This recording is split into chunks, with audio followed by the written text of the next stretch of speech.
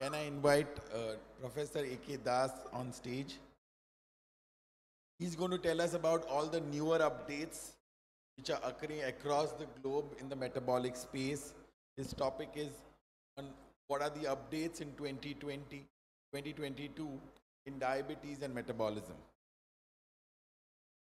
Dr. A.K. Das, uh, I believe everyone knows him. He's one of the most chased professor in India. He's been the dean of JIPMER. Yes, we can have a standing ovation before he starts the session itself. Thank you, my, my very dear colleagues and chairpersons. I do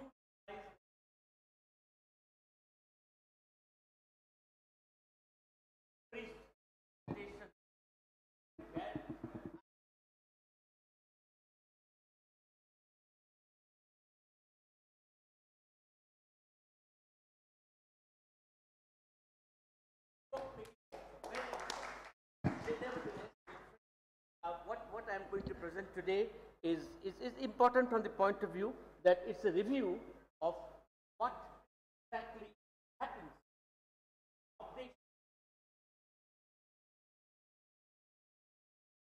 So that, uh, so that it will be easier to grasp. And I will not touch upon the things that are, uh, I will not touch upon the things that are, uh, that are uh, not, not applicable to our country. I just think of the things which are applicable to our country. Furthermore, the 75th year of independence. It is the, so I always think that we should also take pride. I do agree with Arvind, what he said, Arvind was here just now. But you know, we also should take pride in what we have done and realized what people are waking up today.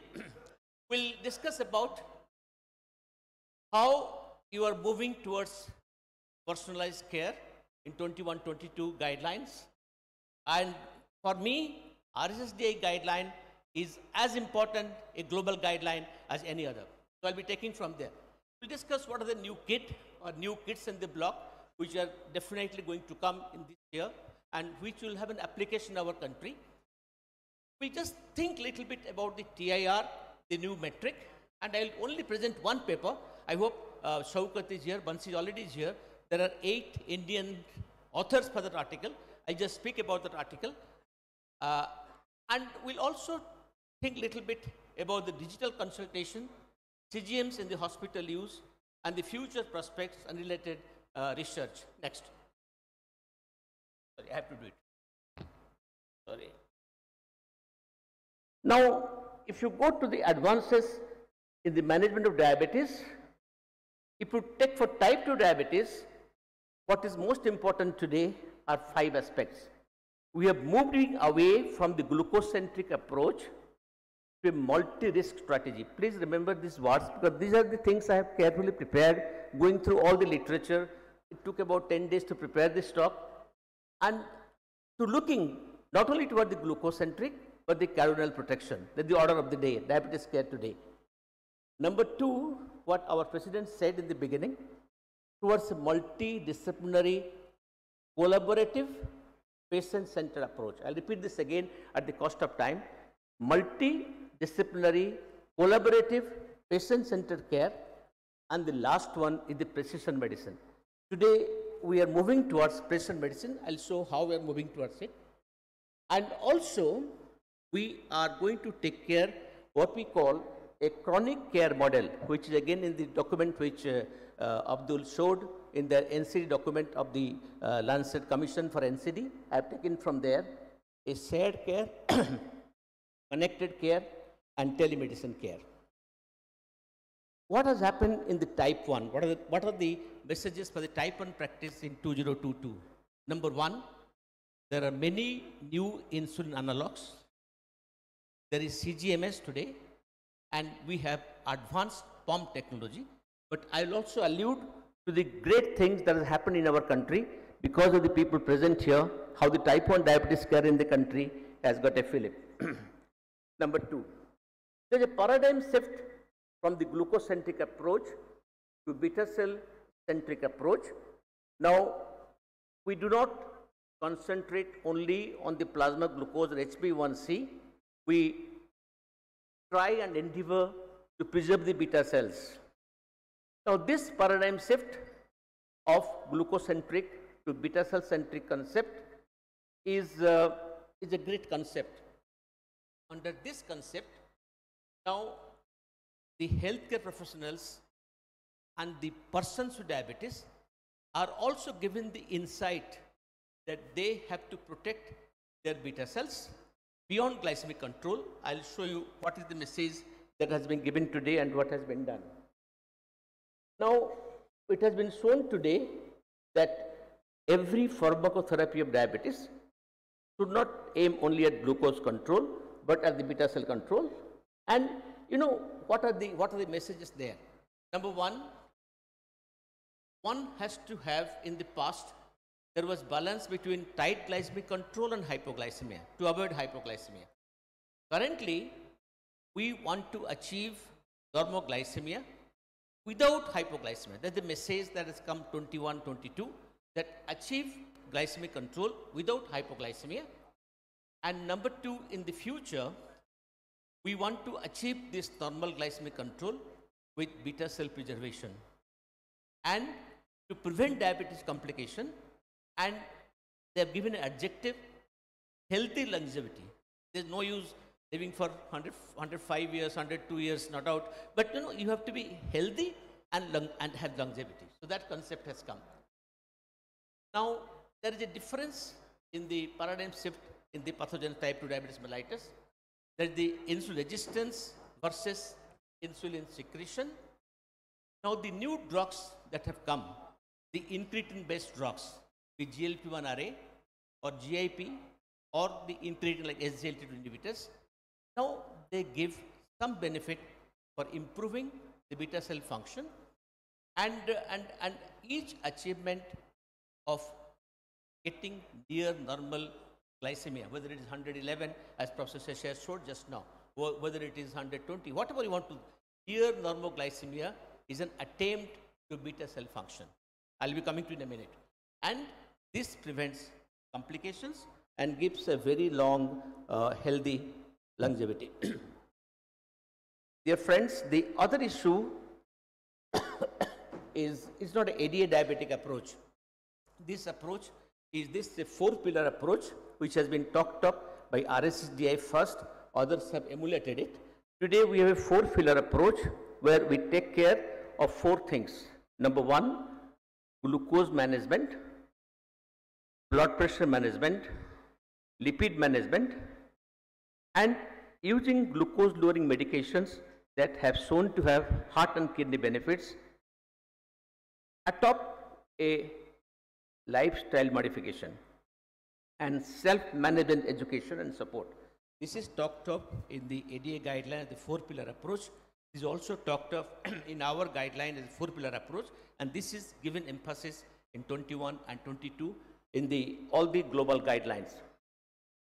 Now coming to SGLT2 inhibitors, what are the things new? Now, you know, they are now recommended to heart failure and can be started at the time of diagnosis. I'll come to that. Avdesh is here. He is an authority on when to start SGLT2, when not to start metformin. We'll, we'll discuss about it.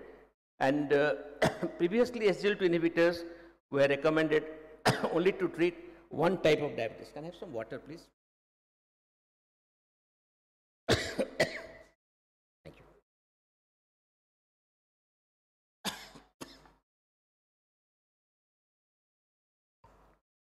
Now, today, SGLT2 in certain patient characteristics can be started at the diagnosis. now, it was only recommended before till 2021 only, only for the HFrEF. Today, it is recommended for the HF PEF for the both preserved and reduced ejection fraction. and today, all the global guidelines do recognize that SGLT2 inhibitors can be used in heart failure for non-diabetic. That's a great advance which came in 21, 22 and, and I must tell you that many of the non-diabetic population are being treated with SGLT inhibitors. And there is a, a message of survival benefit by use of this drug. Finerenone I'll touch upon, I've taken out those slides because Shashank, like Professor Shesha, I cannot talk about it after Shashank. Now, Only thing I wanted to mention that even though Finerenone had DCGI approval, not yet introduced in our country, has been globally approved, I'd like to take two things. Number one, the updated global guidelines, it is not in our guideline yet, has suggested that certain individuals who have got grade 4 DKD, diabetic kidney disease, can take SGLT inhibitors to preserve kidney function. That is something new. In the past, ADA was vocal to say that in the stage 4 kidney disease, people should stop using SGLT2. You can call it 20 EGFR, you can call it 15 EGFR, you can call it whatever, but about 25 to 15. But today, there are some, some literature and some evidences because uh, it, it is said that in the before stage 4 one can use it. At the time of stage 4 people should stop totally using this molecule because this can increase the kidney damage. And we have drugs like finerenone but phenylagophenotyl which has showed the great drugs. But however in the updated guideline of 2022 there has been a changing of this threshold.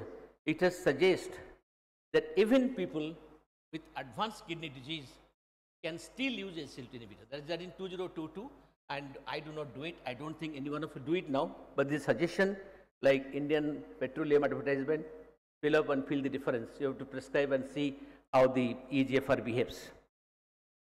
Dear friends, this is my country's pride. I put it here, Indian pride practice. Combination therapy we have been doing from time immemorial. And today, the world has woken up to combination therapy. So I will not spend time because Bansi has given me a warning that I should finish first. So, so a combination therapy of medications of one, of two or more different types of drugs had been effective in helping people manage their diabetes better. This we knew much before and the United States and Europe had sudden, suddenly risen up to this. So this is our pride that we knew about it before. The ADA new recommends, guideline recommends the people with type 2 diabetes who take insulin can combine insulin uh, with a GLP-1 agonist instead of increasing insulin doses further. All insurance covered, so they can use a GLP-1 which will help them. In our country, it is difficult. Number two, it also said that uh, past ADA recommended that you can give SGLT2 inhibitor or GLP-1 agonist, either or, don't to, not, not to give them together for a heart and kidney disease where the risk factors predominate, cardiac risk factors, give SGLT2. If heart failure predominates, give GLP-1, classical teaching. But in 2022, it has been said, and we must practice it possibly in serious cases, that a combination of the two should be considered to lower the risk. And all these are evidence based. The level of evidence I have not put here, it is A. So the combination therapy also has also come to SGLT2 and GLP-1 are a combination. In addition, instead of adding the drug one by one, it is better to start sometime the combination therapy of the uh, two drugs in the individual doses or a combined doses. Dear friends, the country has been well educated about semaglutide, but today semaglutide, especially the injectable 2.4 milligram or oral semaglutide, uh, has been included as a weight management drug. In addition, it also has glycemic lowering efficacy, cardiorenal weight loss and NAFLD benefit. I will not describe it further because this is already covered in many meetings. What are the advances in glucose monitoring? Now, the 14 day CGM assessment of TIR has become very much utilized in our country because it is available to me in my institute for 1900, but people do it 14 day. But it can be done even at a little more price in other institutes. And uh, this gives a great benefit for the glucose management. Now, sorry.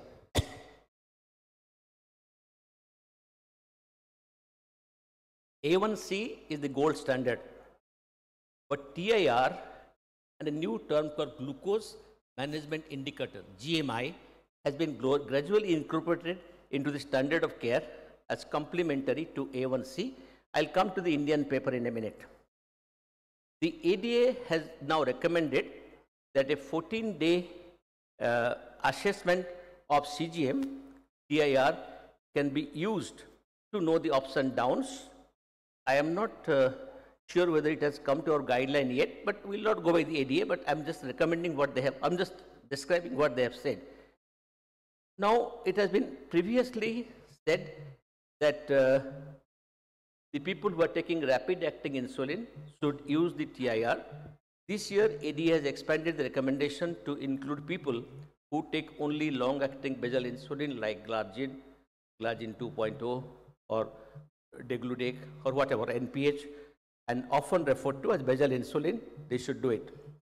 Now, it has been shown in type 2 diabetes who are taking only basal, a large population take Glargine, very large population take only basal. They can improve the day-to-day glucose management by this. And today in 2022 guideline, CGM has been accepted for all the children of type 1 and type 2 diabetes in children which uh, Abdul Jargar described and who, who use rapid acting insulin. For the children with type 1 diabetes, the ADA has recommended automated insulin delivery system. I will not describe it further to save time because this takes, will take some time to come to the uh, come to come to come to come to come to practice. To my mind, one of the greatest advance of this year came last week in 2022, and that was the approval of the uh, this is the approval for use of metformin for pre-diabetes or prevention of pre-diabetes going to diabetes. Exactly the same thing which Professor Shesai was talking about. The approval came last week, sir. And you know, GDM is ultimately pre-diabetes, pre-diabetes stage. So this approval came, and uh, and you know, one more thing came this year. They said that the uh, the ADA recommended that the screening can be lowered for people between 30, at, at the age of 35 years, no more 45. But many of you remember that in 2006 API guideline, not even RSSDI, in API guideline, we recommended that the screening must be done at the age of 35. So this is again Indian pride practice. API in 2006, I've given the reference here. Now, why it came down in USA? In USA, they found the change came after the US Preventive Service Task Force, they call it USPTF, lowered the recommended screening age from 45 to 35 in less than nine months back. And lo and behold, they came down to what we were saying that it must 35. Now, I must also have piece of pride, uh, I mean, a great uh, pride of the moment when I say that metformin is used first. We used in 1957, whereas the United States used it at the end of 2000. That's the Professor says, where you quoting AD all the time. So we have, we have, we're trying to do a series of programs saying that diabetes in India, diabetes ultimate. I spoke to my friends, I have not got the response, but you know, because we have lot of things which we did first, which are coming into existence today.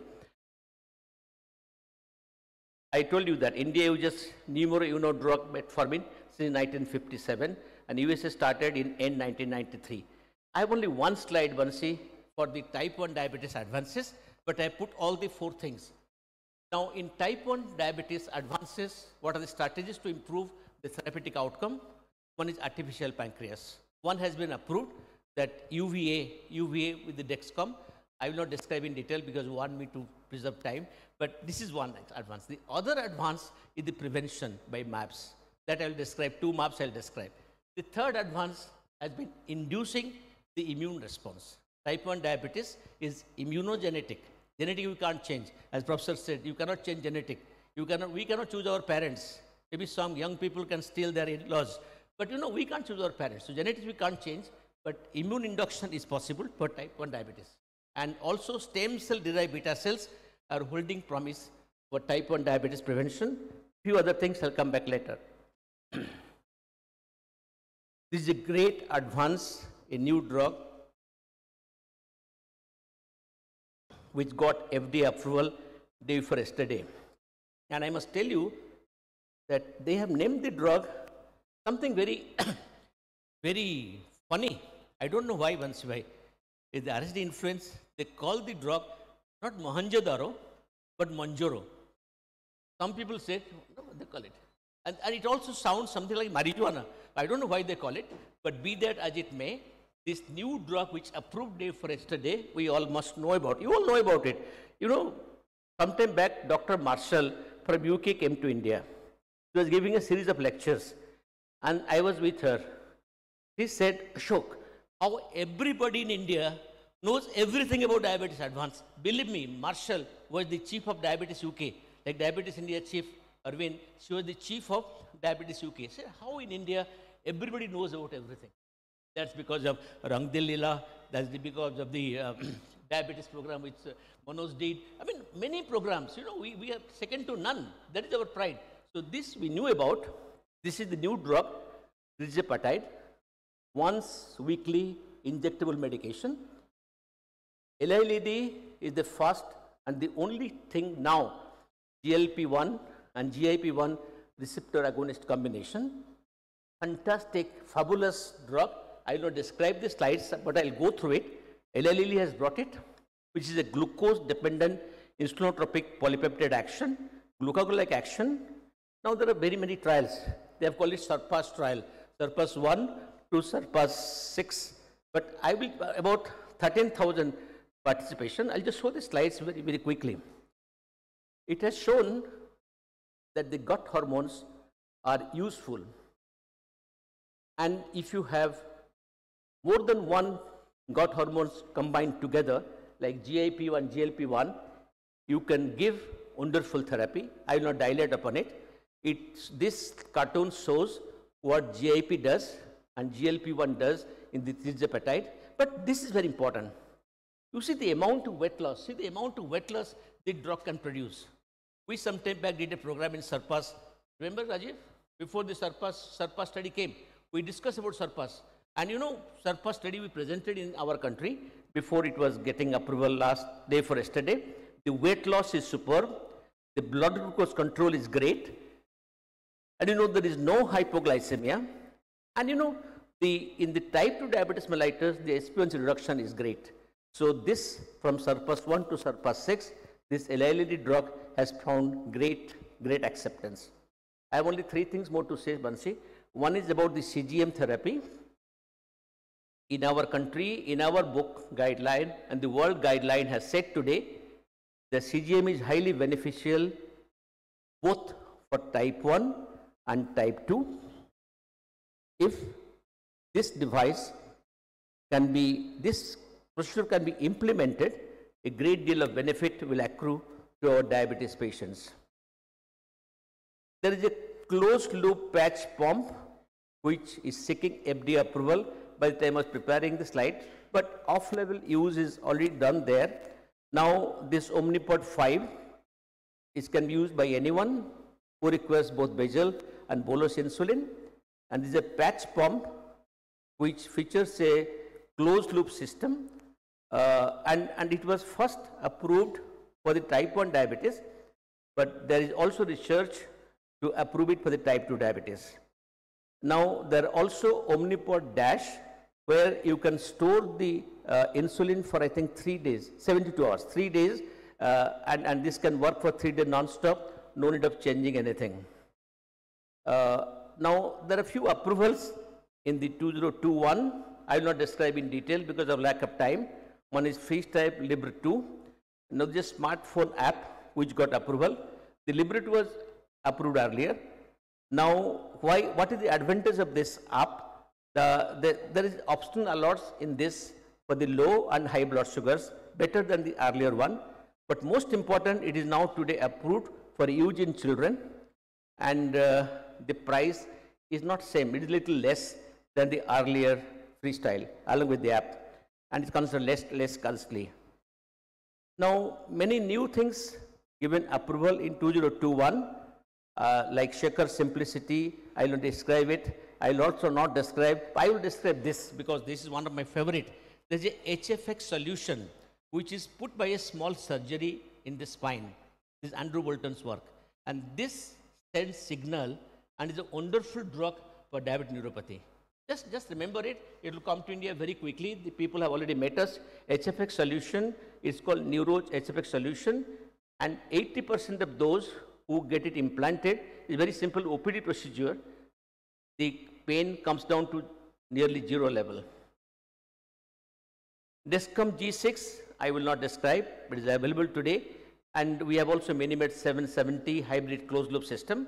Uh, there's the mAbs. I must tell you very, very briefly these mAbs are used very much. This, uh, the ultimate goal of an immunotherapy for type 1 diabetes is to suppress ongoing cell autoimmunity by restoring peripheral resistance without, uh, without affecting the protective immunity. And these mAbs are tailored for that. And there are two mAbs which have been tried to prevent type 1 diabetes complication. And uh, monoclonal antibody mediated diabetes therapy has also started. It will take some time to come to our country. I have only last two things, but I'm excited about it. One is diabetes remission. This is what we must be, uh, we must be very alert about. And this is the one thing which has, was given me maximum uh, impression about the advance. Now I have put it here, this is my words. What are the predictors of type 2 diabetes remission? Like said, there is no, uh, no fog which will not disappear with sunshine. There is no type 2 diabetes which cannot remit. but there are four factors, five factors which will produce the remission quite efficiently. One is age of the patient, how early you are going to start the therapy, the baseline HbA1c, how many drugs the patient needs today, whether he is using insulin, and ultimately duration of type 2 diabetes. Now, I put it here, the predictors of remission, the predictors of good outcome of type 2 diabetes is the first year therapy. Uh, this is Keshu here, Krishna? Ah, Krishna is here. Uh, we, we, we did that. Krishna, why don't you say about it? We did that program where Krishna came to the stage and said that early first year type 2 diabetes management. Come to the front. Where are you sitting behind like a newlywed bride? So, so, so he's, no, no, no. I mean, Bansi, allow me two minutes because it is very important. We must all attempt the moment the newly diagnosed diabetes comes to produce utmost control. Seshu, one word from you because you only gave the concept first to me, then it came in this guideline. Yeah, I, I've got here. Very briefly, I contest. think, I think uh, the data is, is actually a der- derivation of the U- uh, UKPDS, but it's very interesting to note one thing. It's like investment, right? What, what you invest in the first year is compounding over a period of time. It's not a simple interest, it's a compound interest. And, and you will notice by around the 25th year, you will see, see that difference in the mortality, the CV mortality between, between the two agents. Yeah, I think so. Investing in the first year of diabetes is a very, very important thing. I think what we also need to do is to start extending the glycemia. If you get somebody in the first year, don't think of 6.5. Probably, again, I'm doing this probably business a lot, that we should probably think of extending it even lower and lower. Fantastic. So this idea came much before it came in the January 2022 article.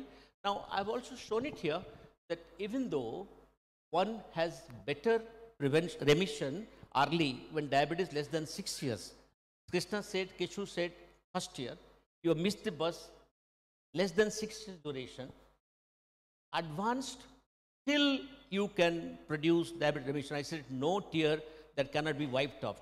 No, uh, no, no fog which cannot disappear. No um, uh, full moon night which will not disappear with the sunshine. So diabetes can be undergo remission. I have given here from the literature. Uh, this is 2022 article. My dear friends, uh, I'll pass on this presentation to my boss Bansi Bhai, you can take share from it. It is a, it's a very epoch-making article in 2022 where she said and showed that in six years duration or less, you need 10 to 15 percent weight loss. If the diabetes is advanced, still you can prevent, but the weight loss is 20 to 25 percent. So first year, EG, Below six years, it is little more difficult, can be done. Even at the 10 to 15 years of time, on control diabetes, one can still try for the remission. So I was just very passionate to say that we must try to, as Professor said, as, as close to normoglycemia as possible.